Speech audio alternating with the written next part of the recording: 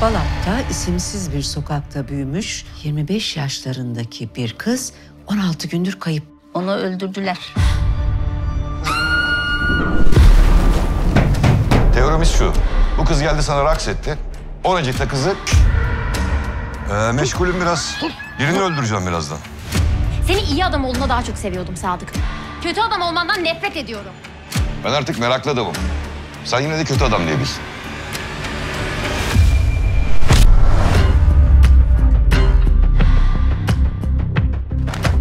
Ben kurgucuyum.